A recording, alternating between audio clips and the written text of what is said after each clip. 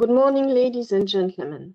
We would like to thank you for attending this webinar on our BL Equities Europe Fund. This fund, managed by Ivan Bouillot for more than 15 years now, applies the business-like investing investment philosophy of BLI that focuses on the generation of attractive long-term risk-adjusted returns. The strategy is benchmark agnostic, conviction-based, and aims to invest in high-quality companies that benefit from solid competitive advantage, a strong capacity of free cash flow generation, and a strong ESG profile. The recent months have been challenging in the context of style rotation that started early November. On a yearly basis, as of end March, the fund generated a return of 3.8%, while the MSCI Europe net return gained more than 8%. On a longer-term horizon, the fund is still ranked first quartile in its Lipper Group on three, five, and 10 years. Before starting, a few words on Banque de Luxembourg Investments. BLI is the asset management arm of Banque de Luxembourg. We manage around 14 billion euros, of which 41 are invested in pure equity strategy. Please feel free to ask questions in written using the Q&A system. We will try to answer them just after the presentation. A summary of the call will be published in the coming days. And now I leave the floor to Ivan Bouillot, the Fund Manager of BL Equities Europe, who will give you an update on his strategy and the portfolio. Ivan? Thank you, Françoise. Good morning, everyone, and thank you for joining our update call on BL Equities Europe. Uh, before jumping into the presentation, I will uh, just briefly uh, share two pieces of information which I know might be important to some of you. Firstly, following the integration of our ESG analysis into our process, BL Equities Europe has been certified with the French ISR label end of last year. And uh, secondly, as uh, this is a topic uh, we're talking quite a lot currently, regarding the SFDR regulation, BL Equities Europe will fall under the Article 8. So despite uh, the few words uh, by Françoise about the presentation, about the methodology, I will uh, quickly recap it before jumping into the performance and performance attribution. so BL Equities Europe is a portfolio I've been managing since 2014 according to a stock-picking process where I consider each investment as an equity stake in a company. Uh, as such, uh, I strive to look for transparent companies I feel comfortable to own for three to five years, and companies solid enough to generate attractive compound returns. I think these attractive returns uh, are mostly generated by companies exhibiting a differentiated competitive advantage, which is the underlying factor of long-term value creation through attractive return on capital invested with healthy balance sheets. Uh, of course, following now the integration of our ESG uh, consideration into the methodology, the selection process is on an ex-ante basis dependent on an attractive ESG profile by the companies. The portfolio typically has thirty to thirty-five holdings. It is uh, unbenchmarked, resulting in great flexibility of allocations. And the portfolio construction process relies heavily on the course of the business of the individual companies and their absolute or relative valuations. And finally, the portfolio has a defensive growth profile. So moving now into uh, performance, year-to-date performance, and I can even address the last uh, last uh, and fourth quarter 2020 performance at the same time. So as François said, return year-to-date is weak and disappointing. The portfolio Uh, performance-wise, we're going through a challenging period, so uh, don't hesitate to ask questions uh, during this presentation or to ask for a dedicated call. Since October 2020 and the announcement of the anti-COVID vaccines, Uh, market drivers have significantly changed. Uh, essentially, expectations of an economic recovery and rising yields translated into a fast market rotation uh, into deep cyclical and value stock, while some momentum stocks kept performing well. And unfortunately, having few, if any, uh, of the former, so cyclicals and value stocks in our universe, and being, as you know, quite conservative on uh, valuation, Equities Europe performance lagged the markets since the end of 2020, with two significant, significantly difficult months, which were uh, November 2020 and March 2021. And so year-to-date return remains below the index, uh, end of March, we stood at 3.8% return, while the, the index, the MSCI Europe, uh, net total return stood at 8.4%. So here two, two, two, two uh, factors explain the continuous underperformance. Uh, first of all, uh, the, the, the, continuation of the market rotation, and as we will see, some negative stock picking impact from uh, a few holdings. Uh, however, it's important maybe to mention that we are not impacted by important failures in our different uh, investment uh. I have added here a slide to illustrate the rotation that is taking place uh, within the market uh, year to date and uh, partly explains why we we are uh, uh, unable really to keep to keep traction with the market since the beginning of the year and end of last year. Here we see the um, earnings revision dynamics within the, European markets for different sectors or different themes. And as you can see, since the beginning of the year, uh, the main sectors which are benefiting from uh, significant positive earnings revisions uh, Uh, are uh, mostly deep cyclicals or uh, typically what uh, are referred to uh, value sectors like on top of it, the green line on the, on the top of the chart is basic resources. Then if you go down, it's oil and gas. If you continue down, it's automotive, and, and then it's, it's banks. And as you can see, the two uh, lines, the red and yellow one on the bottom of the chart represent the MSCI Europe Growth EPS revision and the uh, Stoxx 600 uh, defensive earnings revision. And uh, of course, since uh, October and uh, since the since the beginning of the year, the market has been reflecting these increased earnings expectations from very low levels uh, for uh, the cyclicals and, and deep value sectors, expecting uh, the, the end of the economic crisis driven by the by the, the COVID, or at least an improving economic and financial situation globally if we put this into a perspective on a more uh, long-term uh, basis, we can see on the uh, shaded area on the right of the chart the impact of until now. Uh, whereas the long-term picture continues to show uh, an outperforming trend. We've been uh, significantly rebounding less than the market since uh, October. So it's a difficult period for you clients and for us uh, portfolio managers. Uh, but I mean, just would like to highlight, we've been through these difficult periods before because we we do not invest in close to 40% of the index, but we are really constructive and optimistic that going out of this phase, typical company we look for will continue to uh, to to outperform.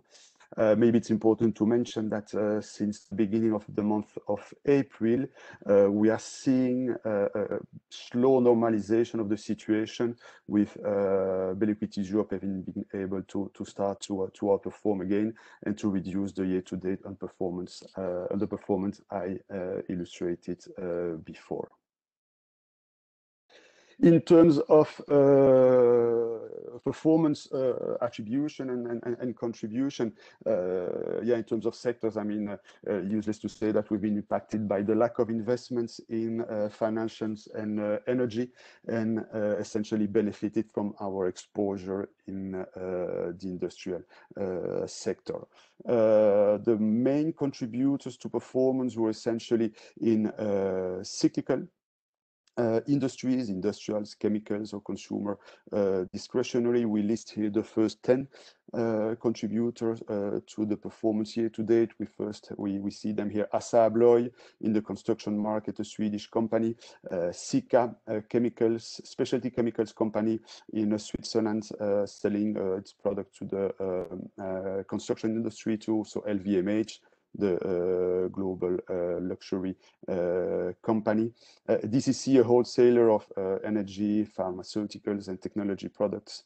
and Novozymes, one of the world leader in the in the enzymes market. Assa Abloy essentially benefited from a share price recovery from quite a low valuation at the, at the beginning of the year, uh, thanks to uh, improving business dynamics and uh, reassurance from the company regarding the margin outlook for 2021, with the construction market and construction's PMIs improving globally. Sika, uh, the main holding of the portfolio, uh, generated quite good returns. And uh, while the company has been able to maintain very high levels of business activity and, and profitability even throughout the crisis. And uh, we flag here, I mean, market share gains due to very strong customer relationship and a very high quality uh, product portfolio and it's a performance-driven uh, product portfolio, one-stop shop uh, approach that translates into a strong pricing power, which supports uh, organic growth for Sika globally. They just released earnings uh, yesterday, which showed uh, really uh, very strong dynamics, thanks essentially to Asia and the US, but also Europe since the beginning of the year. And LVMH also a nice contributor. Uh, I mean, the, the company uh, since September 2020 has had a really, uh, really good performance uh, with a strong recovery of demand uh, uh, starting in Asia, but also following through the US over the months in terms of uh, ne negative contributors to the uh, to the performance, uh, well, we see mainly uh, defensive companies or some uh, uh, technology companies. there is no, as I said in the introduction, no really um, investment thesis weakening. I think it's mostly, as I can illustrate now, more punctual than structural. TeamViewer, which is a company I will present in the in the following slides that I bought last year. Uh, I've fell significantly in a couple of days towards the end of the quarter uh, following an announcement by the company of two big sponsoring uh, contracts, which were uh, unexpected, at least in terms of magnitude, and which came just two weeks after the company confirmed the business outlook and especially the margin outlook for the year 2021. But the size of these contracts with Manchester United and with Formula One and Formula E Uh, has led the company to reduce uh, in the end margin expectations for the year. And this was reflected in a significant stock price uh, uh for decline, which uh, illustrates also the, the, the, the, the surprise impact it had on the on the market. But I mean, the business case is absolutely not put into question following these sponsoring contracts it might even show that the confidence of the of the management on the on the on the business going forward.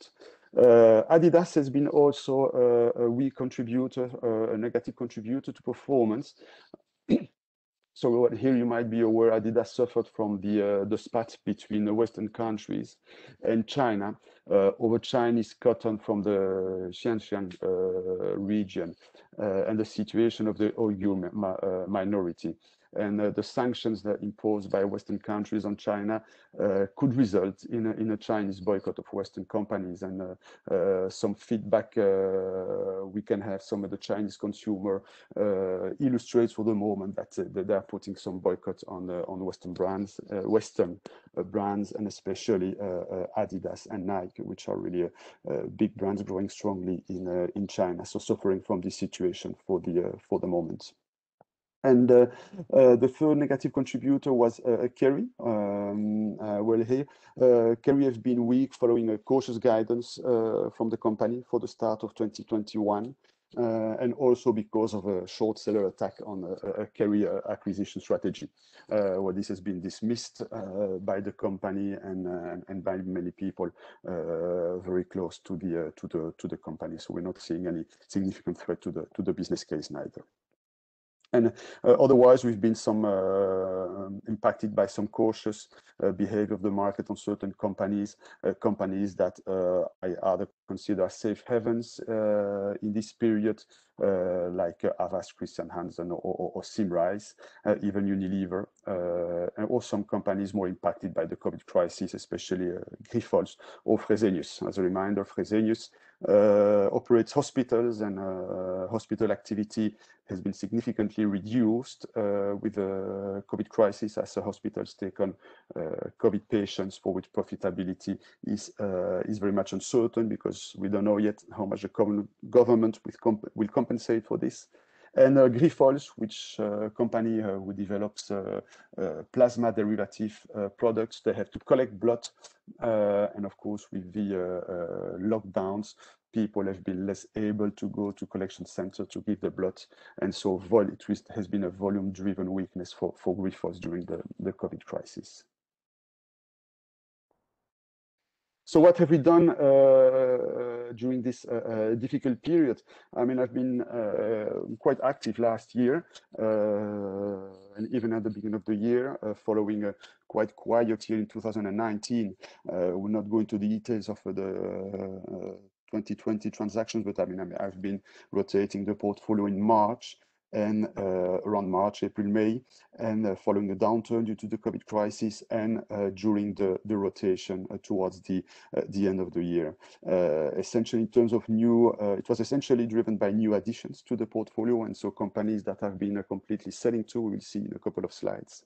Uh, not mentioned here, but last year, uh, you might remember we added companies like uh, Geberit, uh, sanitary technology in Switzerland, uh, Dassault Systèmes, uh, computer aided design software company, L'Oreal, the global leader in cosmetics. And here we see the list of companies we added towards the, the last of the, the, rotation towards the end of last year. So we added Teleperformance, DCC, Kerry Group. TeamViewer, uh, Netcompany, Reply, and, uh, and Sweco. I will give a few words on, on, on TeamViewer, uh, Reply, and, and Sweco in the, in the next slides.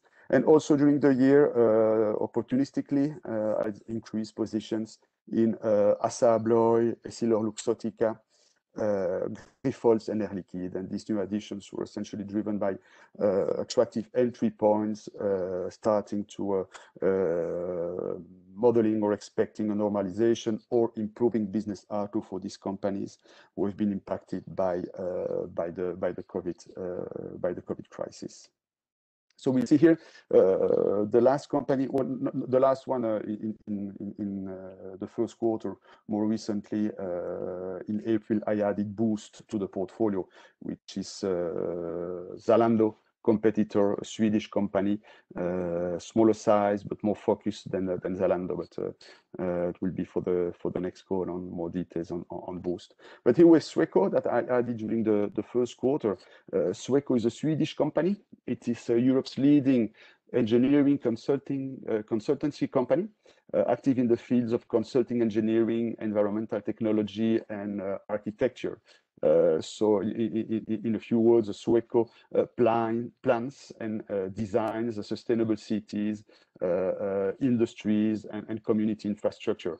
Uh, the company assists with the analysis studies, as well as the planning, design, and construction of everything we build in cities, neighborhoods, industries, recycling facilities, etc and uh, it is a, um, a company with a, uh, extremely uh, deep knowledge in its market and whose business is supported by megatrends like increased urbanization,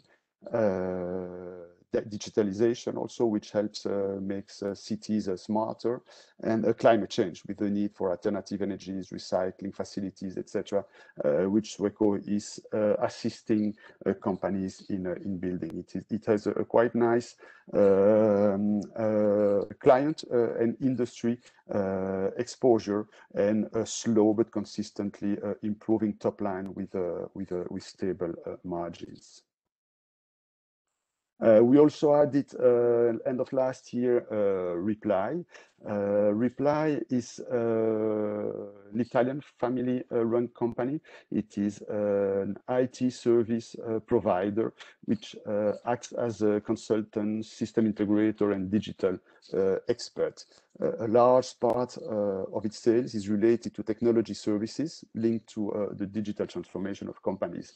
And in practice, Reply supports companies in defining and developing their business models to optimize uh, integrating uh, process application and devices, mostly using new technologies and communication uh, paradigms such as the big data, cloud computing.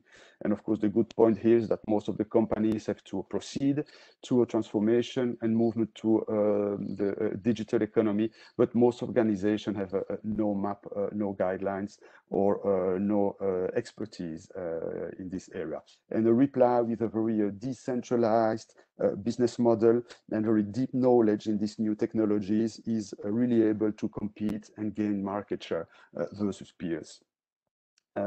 Uh, even if these peers are big, com big companies like Accenture for example.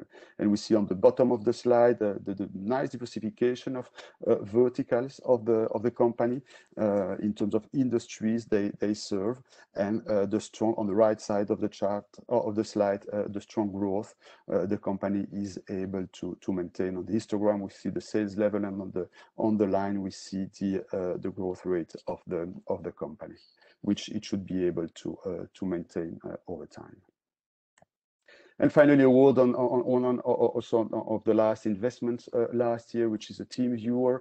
Uh, you must be maybe a bit, more familiar with this one. This is a, a German company active in uh, active for more than than than, than 20 years. TeamViewer develops a cloud-based uh, solution, so softwares uh, that enable uh, uh, online remote access to IT systems. For example, if you work from home or out of the office traveling, you have to go through security platforms to access uh, Uh, your company network and TeamViewer is one of the big companies playing in this uh, industry. So uh, of course, during uh, the COVID crisis, uh, the use and the subscribers for TeamViewer has been expanding significantly.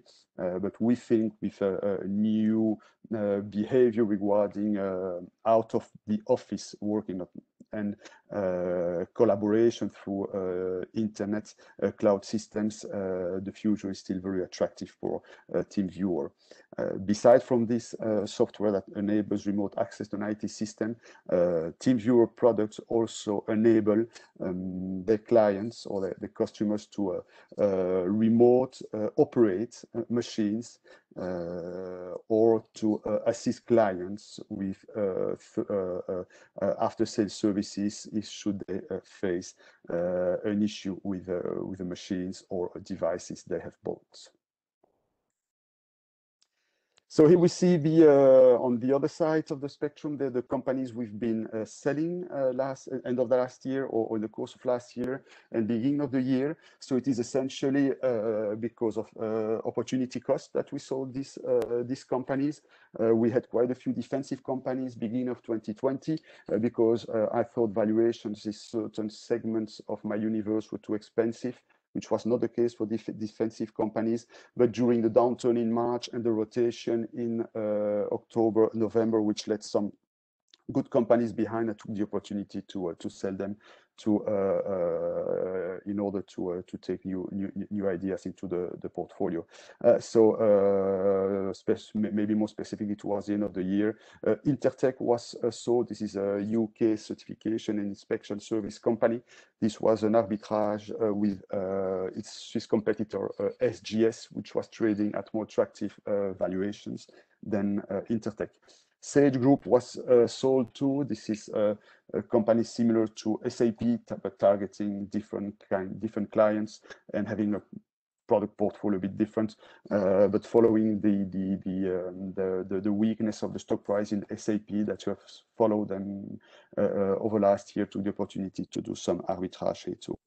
I sold also the investment in Roche to fund uh, new investments, essentially uh, uh, investments, increase in exposure towards Uh, new investments made last year, like Reply and, uh, and TeamViewer, which were increased in the beginning of the year. And uh, finally, also uh, reduced during the course of the year, but accelerated in uh, in the last quarter, reduced exposure towards Reckitt Benckiser Unilever, which is not in the portfolio anymore, sold it in April, and also reduced exposure to Fresenius, as I am willing to wait for the end of the the COVID crisis to have more visibility on the outlook for the for the business and its profitability. So in terms of exposure, where do we stand now? In terms of uh, industry exposure, we have uh, increased last year uh, exposure towards industrials, uh, chemicals, and uh, information technology stocks. Um, industrials and chemicals uh, represented the materials sector are our biggest exposure currently. So we, we of course stay behind the market in this rotation towards cyclicals and value stocks. we are invested in cyclicals, but not it's more quality cyclicals which have been rebounding less than the market as they were less impacted by the by the, the COVID crisis.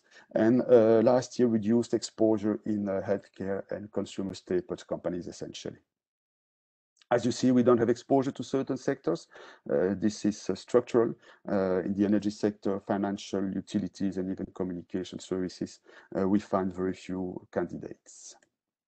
In terms of market cap allocation, uh, well, we see here the typical uh, higher allocation than the index we have in companies uh, below 50 billion uh, market capitalization. So 60% in the 10 to 50 billion market uh, cap category and close to 10% below uh, 10 billion euros market cap.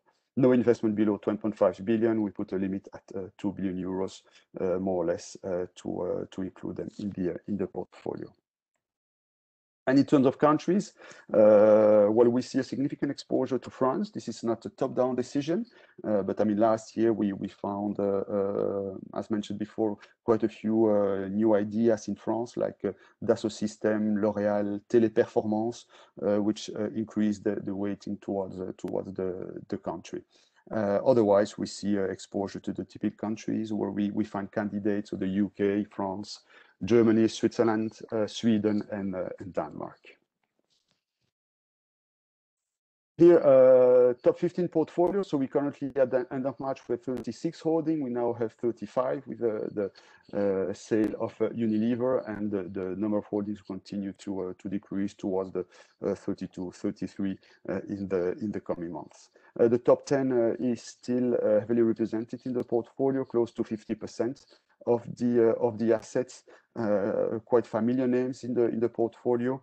Uh, we've been increasing smaller uh, smaller holdings in the in the portfolio last year, but it's true that in the top top 10 we, have kept quite quite the, same holdings. I'm still very much confident about Sika outlook and capacity to operate really well in a difficult economic environment or in an accelerating construction market. Um, um, I presented it before. They released earnings yesterday, uh, five top line 5% above expectations and profitability uh, also moving higher. Um, so we're still very confident on, Sika. Uh, SAP, I'm also quite optimistic on the on the outlook. I think uh, the company is going through a, transition you are familiar with. they have to adapt their um, ancillary software to now the cloud-based solution. So it takes time, but they have a, huge ability to to keep clients. Uh, so not losing too much market share, even if even if they have to lose market share to, to new entrants. Uh, but uh, the ramping up of the business, which has already started, should continue to improve the organic growth rate and the margin of the of the business. Uh, still also a big exposure to uh, to uh, Essity. This is a consumer tissue uh, product uh, with a leading global positions worldwide, a Swedish company for which I still expect the company to improve its, its profitability. Uh, Assa Abloy, well, it moved nicely since the beginning of the year, uh, close to 25%. Uh, uh, not reaching yet the uh, the sell target, but I mean, I'm monitor it to eventually having to, to reduce it, but still quite optimistic about it. And we see here the uh, allocation uh, of the portfolio towards the different categories in which we invest. So the consistent earners, as you remember, quite the well-established companies like uh, uh, uh an Air Liquide, uh, L'Oréal, for example, which represent 55% of the assets in the portfolio. The growing franchises companies, 37% of the assets of the portfolio. So we are at uh, the top of the range for this category. Uh, this category has been significantly increased last year towards the the name I mentioned and I presented, uh, like a Reply, TeamViewer, or Teleperformance. And then we have one single holding in the established value category, which is Essity. And as a as a reminder, in the established value category, we essentially invest in in expected turnaround stories like Essity. On the right side of the of the chart, we see the the financial uh, ratios for the portfolio. Um, of course, we have uh, multiples higher than the market, which reflects, of course, the quality bias we have. We have a few outliers that uh, pushes the the average a little bit higher, like Sika, for example. But otherwise, you can see at the bottom of the chart of the of the table, also much higher return return metrics. In terms of earnings growth profile for the the portfolio, uh, according to current portfolio weightings, we have a 26 EPS uh, growth expected for this year, which compares to a 34 for the uh, MSCI Europe. And we have currently, according to consensus, close to 12% EPS growth for uh, next year, uh, comparing to a 14%. Of course, this is uh, always very much uncertain, but it gives a picture of the potential rebound in earnings for the portfolio, which is quite attractive, but definitely below below the market, given the companies in which we invest, which are have been less impacted by the downturn and benefiting less from the upturn. We have here the uh, uh, ESG uh, dashboard of the uh, of the portfolio. I mean, we can go into details during Q&A or in a dedicated session. But I mean, what we want to achieve here is for the different impact objectives we have defined for the label to have a better um, average score than for the market.